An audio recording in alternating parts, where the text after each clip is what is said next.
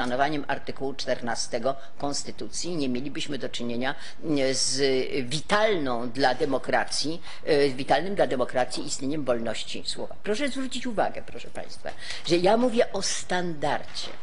O standardzie jako, tutaj właśnie w tej książce ja pozwolę sobie sama siebie zacytować, bo tutaj już napisałam. Prawo jest mechanizmem, mechanizmem, na który składają się teksty przepisów i wszelkie zasady ich tworzenia, konstytucyjność, oraz wykładni, będę o tej wykładni jeszcze dzisiaj y, troszeczkę, jeszcze kilka słów powiem, warunków funkcjonowania, to co powiedziałam o, y, jakby to powiedzieć, kulturze prawnej, tutaj wolności słowa i tak dalej. To znaczy, że prawo, którego brzmienie jest nafaszerowane różnego, różnymi nie- niedookreślonymi zwrotami, musi dopiero nabrać znaczenia, zostać nasycone tym, co sądy sytuacyjnie uznają za odpowiadające treści tego zwrotu. Nie chodzi jednak o to, że istnieją konkretne rozstrzygnięcia, takie lub inne, lecz to, że z tych konkretnych rozstrzygnięć, z pracy sądów, wyłania się pewna wizja, wzorzec, właśnie standard, e, który sąd, mówiąc o interesie ogółu albo o pozytywnych wartościach wspólnych, wypracowuje na tle konkretnej sprawy. Mówię o tym dlatego, że same sądy nie zawsze chyba są dostatecznie świadome tego właśnie efektu swojego działania. A jednocześnie u nas panuje wizja, e, tak jak w tumimowskich strasznych mieszczanach. Wszyscy widzą wszystko oddzielnie. Tu prawo ustanowione, tu praktyka, a przecież to się musi wszystko składać na wspólny obraz funkcjonowania prawa. I teraz, jeżeli, proszę Państwa, wspominam tutaj zresztą w tej książce właśnie ciągle o, o tym standardzie, jeżeli mamy do czynienia z sytuacją, w którym na przykład Turcja, żebyśmy nie byli my, jest rozliczana z niewłaściwego standardu y, y, zapewnienia równości w sprawie opus przeciwko Turcji. Wtedy, kiedy lekceważenie i niedziałanie organów ścigania wobec osoby, która zgłaszała się ze przemocą domową, lekceważono, tak jak to często się zdarza w naszych wypadkach. Policja, prokuratura lekceważą tego rodzaju, tego rodzaju zgłoszenia. Turcja, Turcji powiedziano, że nie, e, w- jej standard e, równości jest niewłaściwy, dlatego że statystycznie rzecz biorąc, przemoc rodzinna dotyczy dotyczy przeważnie kobiet. Tak było właśnie w tym kazusie Opus.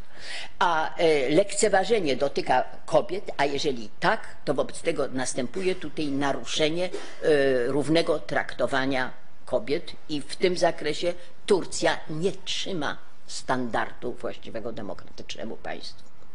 Otóż, proszę Państwa, znowu, takie widzenie zakłada zupełnie inne podejście do tego, bo co z tego, że Turcja może mieć świetne przepisy o równouprawnieniu. Nasza konstytucja, zapewniam Państwa, tak samo ma potencjały, które do tej pory są zupełnie niewykorzystane, co dedykuję mojemu następcy na urzędzie, panu profesorowi Andrzejowi Wróblowi. Ale to sobie gdzieś w jakiejś okazji sobie porozmawiamy na ten temat.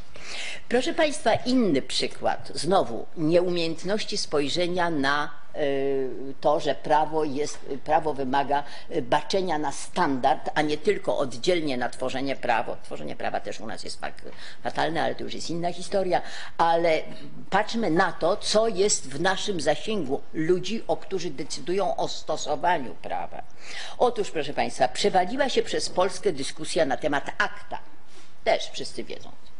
Proszę Państwa, spotkałam się z argumentacją, która y, szła w tym kierunku. A cóż to za problem, skoro akta, umowa międzynarodowa, nie proszę Państwa, ustawa, nie przepisy, umowa, cóż to za problem, skoro akta, jeżeli chodzi o sam poziom ochrony, wcale nie zapewnia wyższego poziomu, niż by to wynikało z prawa polskiego. Tak, poziom ochrony nie jest wyższy. Natomiast mechanizm, który akta kreuje, wytwarza mrożący efekt na tych, którzy korzystają z wolności, e, z, korzystają z internetu, ponieważ akta, nie wyjaśniam w tej chwili mechanizmu, jak ktoś chce, to niech sobie zajrzy na koniec, tam jest to opisane, mianowicie akta wytwarza mechanizm, e, któ- wytwarzałaby, przepraszam, bo jest w tej chwili jest, sprawa jest zawieszona, e, wytwarzałaby mechanizm, którego, który każdego użytkownika internetu dzięki kunsztownym e, domniemaniom, że jeżeli otarł się o piractwo lub czyniłaby y, szeryfem w służbie tych, którzy czerpią korzyści z mm, udostępniania dóbr kultury. Znów ci, którzy bronili akty z punktu widzenia tylko poziomu ochrony, widzieli część problemu. Spojrzenie na to jako na mechanizm z, y, funkcjonowania stwarza możliwość widzenia innych y, aspektów y, sytuacji, która z punktu widzenia standardu y, ochrony prawa jest, oczy- byłaby oczywiście niezadowalająca. Inny problem, proszę Państwa, już bardzo bliski, to z kolei dotyczący karników. I tutaj się odwołam akurat do sprawy, która była w Trybunale Konstytucyjnym, w którym byłam sprawozdawcą, która chyba była, zresztą akurat ten wyrok został dobrze przyjęty przez y, y, y, sądy. E, Mianowicie była taka sprawa dotycząca oczywiście bezzasadnej kasacji karnej, w której nagromadzenie różnych elementów samo w sobie, no cóż takiego, no, że to się robi na niejawnym, no pewnie to różne rzeczy robi się na niejawnym, E, że się nie pisze uzasadnienia, no, w wielu wypadkach się nie pisze uzasadnień. No cóż z tego, że się, e, że się akurat w danym wypadku mm, nie, nie ma powiadamiania zainteresowanych albo wołania zainteresowanych do przedstawienia swojego stanowiska. Każda z tych czynników oddzielnie prawdopodobnie by się wybronił, ale trzy razem wzięte powodują, że standard ochrony jest niewystarczający. A dla mnie naj Bardziej wymownym przykładem było jeszcze co innego. Skąd wiedzą, sędziowie wiedzieliby Sądu Najwyższego decydujący o oczywistej bezzasadności kasacji, skoro nie piszą uzasadnień, nie mają wspólnych narad i o tym jedno, chyba że na kawę sobie pójdą, to wtedy powiedzą, co to znaczy oczywiście bezzasadna kasacja. Jak ma się wytworzyć standard oczywiście bezzasadnej kasacji.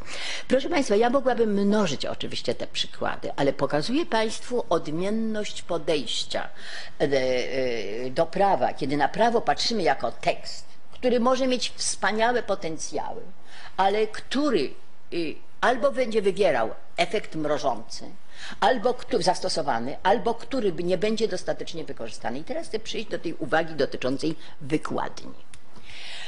Otóż, proszę Państwa, e,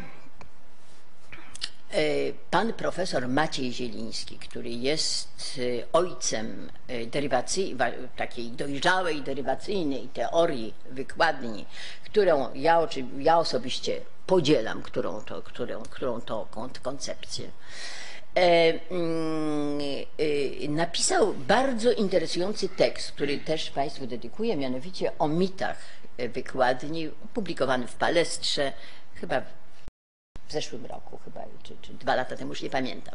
W każdym razie bardzo ciekawe.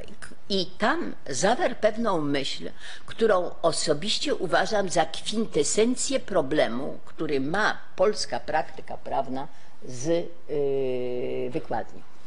Otóż i w, w, w, w Polsce istnieje, wszyscy Państwo znają, taka quasi-paremia e, interpretatio cessat in claris. Czyli jeżeli już coś jest wyjaśnione, to znaczy mamy zaprzestać działania interpretacyjnego. Czyli osiągamy poziom klaryfikacji znaczenia, kropka. Otóż, proszę Państwa, jest to jeden z najbardziej szkodliwych mitów, e, które szkodzą e, poprawności e, procesu interpretacyjnego w Polsce. Dlaczego?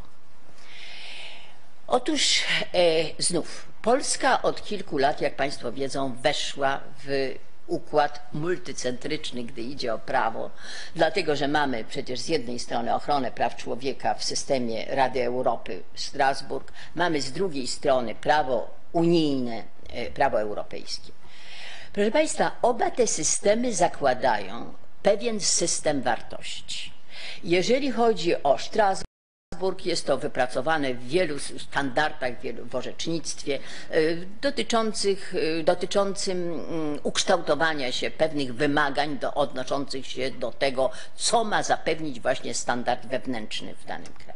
A z drugiej strony prawo unijne wymaga posłuszeństwa effet utile, czyli tam, gdzie y, jakaś kwestia jest przez prawo y, unijne regulowana, e, y, polskie organy zarówno tworzenia, jak i stosowania prawa mają obowiązek osiągnięcia tego właśnie celu.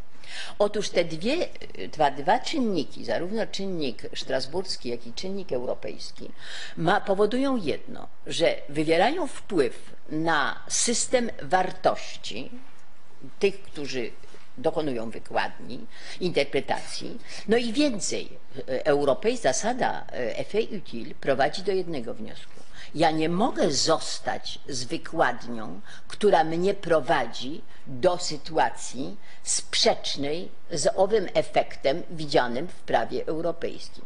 Co wobec tego z tego wynika? Ano wynika to, że przynajmniej w tych obszarach, które są podległe prawu europejskiemu, w ogóle nie ma mowy o tym, że jeżeli dojdę do wniosku, że nawet mój przepis jest jasny, ale i w związku z tym zatrzymam się w tym momencie, bo, bo interpretacją cesat in claris, no to wtedy pogwałcę zasadę effet utile.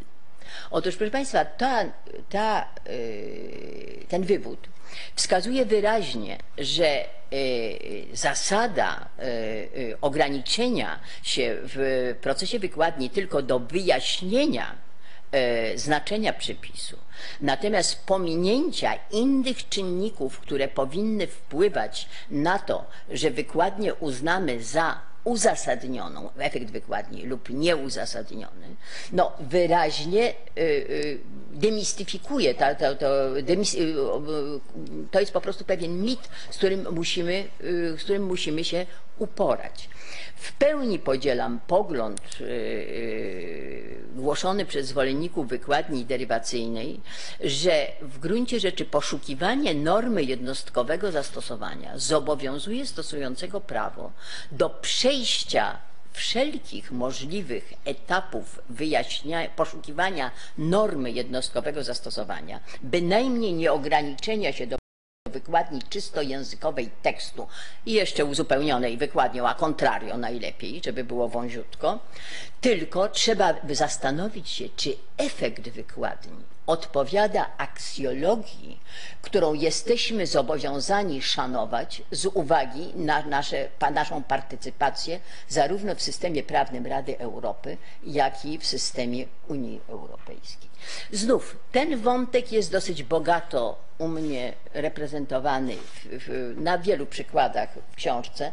Gdyby to kogoś zainteresowało, bardzo bym się tym cieszyła. I wreszcie e, przedostatnia kwestia, którą chciałam poruszyć, mianowicie coś, co mnie niesłychanie smuci, dlatego że to jest bardzo smutna książka, proszę Państwa, te 20 lat później. Dlatego, że coś, co 20 lat wcześniej mm, e, można było witać y, z nadzieją, że będziemy mieli, e, e, że złe zostanie usunięte, a nowe nie przyniesie niczego złego. Tymczasem okazało się, że złe żeśmy usunęli, a nowe nie zawsze przyniosło tylko to, co dobre, albo myśmy się nie potrafili z tym uporać. To temat na, jakby powiedzieć, zupełnie inny jeszcze, jedną jeszcze wypowiedź. Otóż, to jest smutna książka. I jednym z, z, z elementów troski, która y, mnie niepokoi, jest coś, co ja nazwałam, przepraszam może nieco pretensjonalnie, monadycznością naszego działania naszych organów wymiaru sprawiedliwości.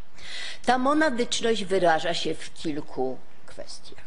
Trybunał Konstytucyjny nie zawsze chce myśleć i mówić o skutkach swoich orzeczeń.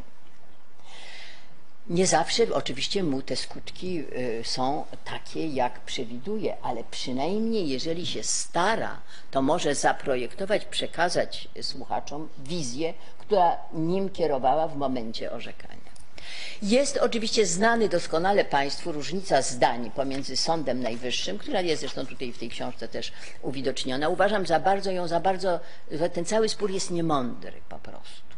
Ponieważ ten spór ma, ma ma, ma, pewne nieporozumienie u swojego, u, swojego, u swojego podłoża. Mianowicie to jest spór o to, kto jest ważniejszy a każdy jest ważny w swoim zakresie. I niestety immanentnie, jeżeli mają Państwo punkt, używam tej metafory, który jest położony na poziomej i pionowej linii przecinającej ten poziom, to ten Punkt leży, jest wspólny zarówno dla pionu, jak i poziomu.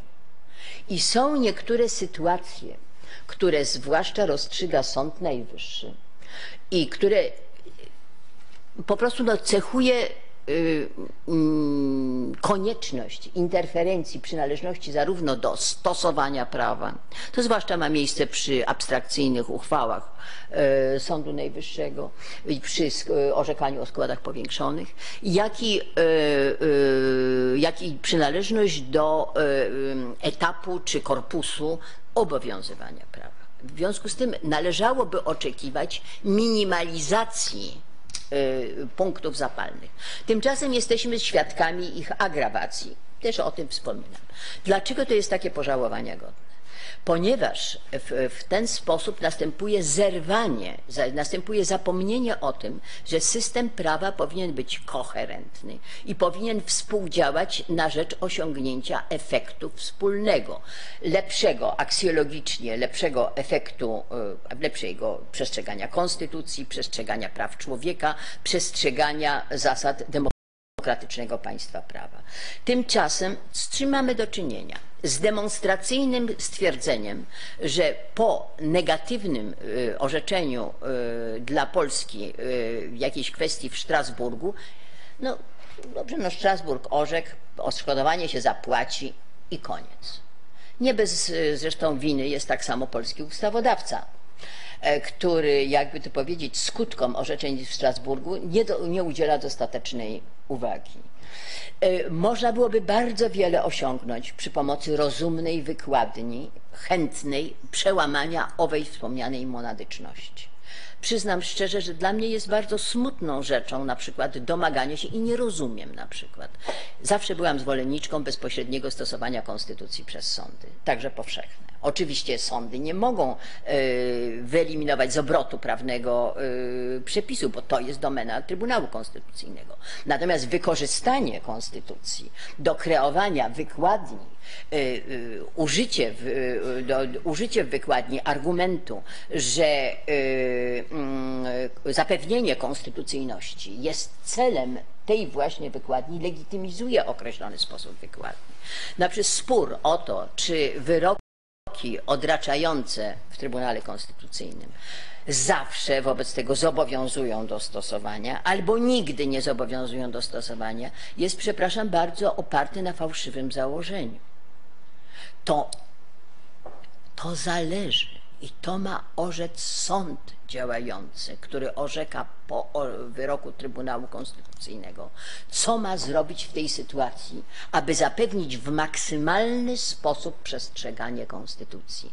I dlatego ja się na przykład dziwię, że bo to jest instrument oddany do dyspozycji sądów. To stosunkowo dobrze działa na styku Trybunał Konstytucyjny, NSA. Kiepsko działa na styku sądy powszechne, Trybunał Konstytucyjny. I to jest przyczyna tej, ta modadyczność jest moim zdaniem po prostu chybiona i godna pożałowania. I wreszcie, proszę Państwa, ostatnia kwestia, którą chciałam poruszyć, to właśnie nawiązanie do mm, tego mm, nowego, ja pamiętam, że tutaj nie mam używać słowa produkt w przeciwieństwie do pana, do pana mm, dyrektora, prezesa Albina, więc ja używam słowa nowe narzędzie, które będzie dzisiaj prezentowane w, przy pomocy znawców tematu. Otóż, proszę Państwa, E, To narzędzie, oczywiście ja wiem tylko tyle, co ja zrozumiałam z tego, co mi inni objaśniali, więc ja rozumiem niewiele, Państwo będą mieli to bardziej uczenie wyjaśnione, ale ja zrozumiałam, że tu chodzi o taką sytuację, że się nie będzie szukało w tym lekcie tekstów, tylko się będzie szukało sytuację, w której się ktoś znajduje. I teraz z tej sytuacji będą wyprowadzone różne możliwości proceduralne, które temu człowiekowi, który poszukuje odpowiedzi, mają ułatwić po- poruszanie się w labiryncie jak nić Ariadny lub kompas, jak sobie Państwo życzą. Otóż, proszę Państwa, myślę sobie tak. Ja jestem dinozaurem, ale szczęśliwym dinozaurem.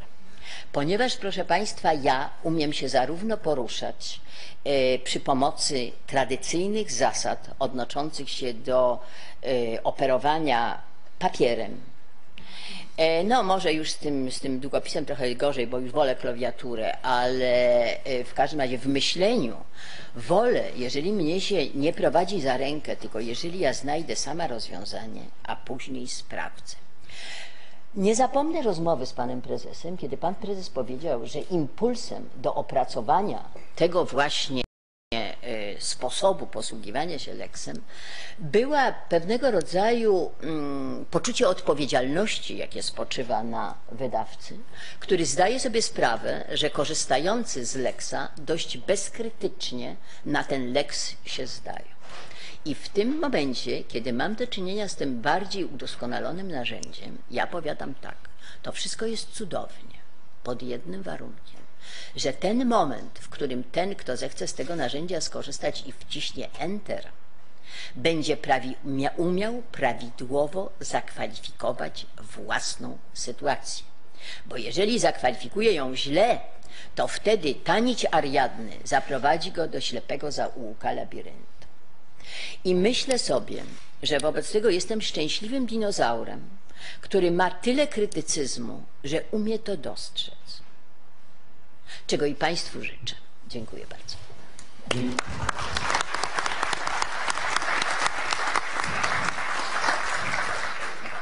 Dziękuję bardzo e, Pani Profesor. Mamy jeszcze chwilę czasu. Można będzie zadawać pytania e, bądź podjąć dyskusję e, z Panią Profesor. Jeśli ktoś z Państwa zechce, to ja serdecznie e, zapraszam, ale zanim umożliwię to, chcę jedną małą, na jedną małą polemikę e, pozwolić sobie z Panią Profesor. Otóż i, e, no, ja nie uważam, że jest to książka smutna, choć wiele wątków, wiele sformułowań, wiele elementów no, prowadzących do takich smutnych, pesymistycznych mm, refleksji y, bez wątpienia w niej jest, ale jest w niej też wiele wątków takich pozytywnych czy, czy wniosków y, takich, że, że jest lepiej. No i pani profesor chociaż miewała, owszem, y, no przyznaję, w trakcie tych naszych wielogodzinnych rozmów, na, na podstawie których ta książka powstała, miewała takie tendencje do stwierdzania, że, że no właśnie, no, no gorzej jest, no, no, no do czego to,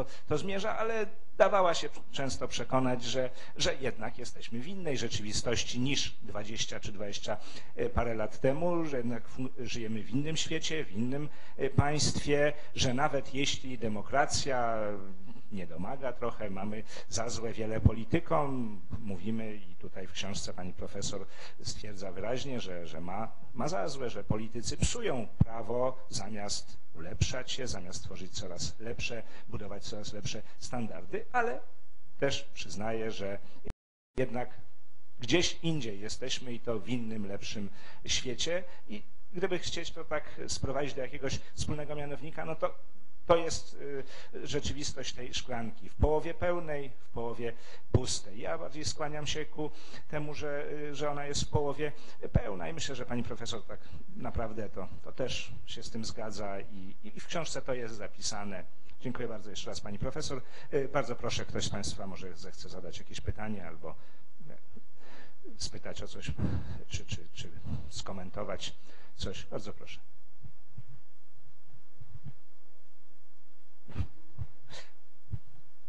Tak, bardzo proszę, pan sędzia. Proszę bardzo. Włączony jest już, można. Pani profesor, ym, chciałbym zasięgnąć porady. Mam nadzieję.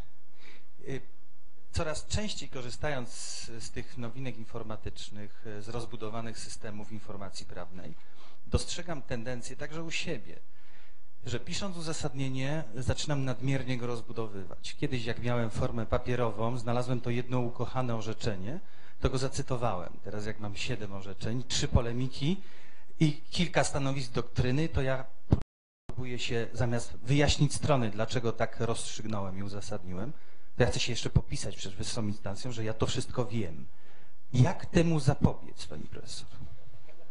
Ale ma pan świętą rację w obserwacji faktów, bo jeżeli państwo, to była święta wojna, którą prowadziłam, y, w, będąc w Trybunale, kiedy y, asystent przygotowywał, co miałam bardzo dobre dwie asystentki, świetne, ale y, no to jak ja wzięłam to od asystenta, to ja usiadłam i musiałam teraz z tego wyciągnąć efekt. I chcę Państwu może powiedzieć jedną, to nie jest anegdota, to jest prawdziwe zjawisko, które zdarzyło mi się, jak byłam w NSA jeszcze. Bardzo dobrze pamiętam zresztą akurat y, ten, ten czas i bardzo dobrze pamiętam kolegów. y, Bardzo się tam dobrze czułam, krótko mówiąc, w NSA. Otóż, proszę Państwa, y, zdarzyło mi się raz, że podbieżono mi referat na jakąś siódemkę.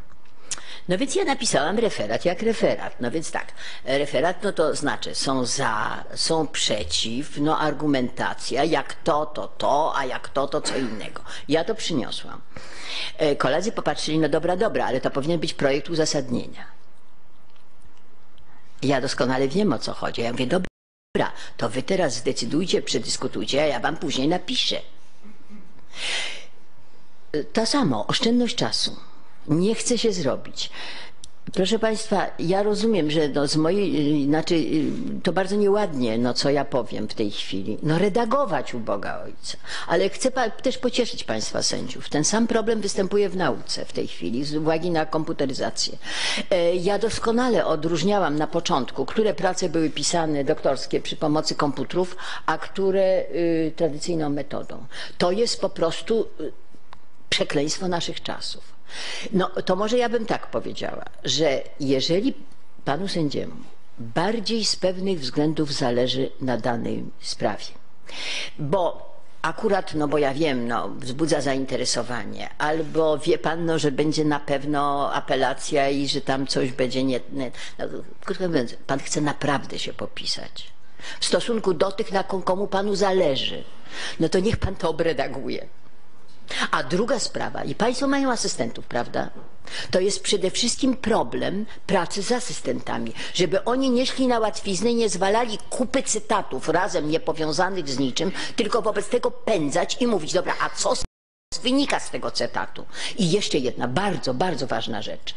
Mianowicie orzeczenia i w ogóle te cytaty, te wszystkie, które są właśnie w tych produktach, które oni tam sprzedają, no to mianowicie, proszę Państwa, trzeba dokładnie wiedzieć, gdzie jest mainstream, a gdzie są peryferie. I nie wolno tak, że się bierze byle co i się, i się cytuje. Trzeba wyciągnąć to, co jest aktualnym standardem Strasburga, aktualnym standardem Sądu Najwyższego, a nie, że jest takie orzeczenie. No i co z tego, że jest takie orzeczenie? To proszę Państwa, bo inaczej zamieniamy się w tych, którzy w moich czasach podpierali się z cytatami z Lenina. Też było wszystko jedno co.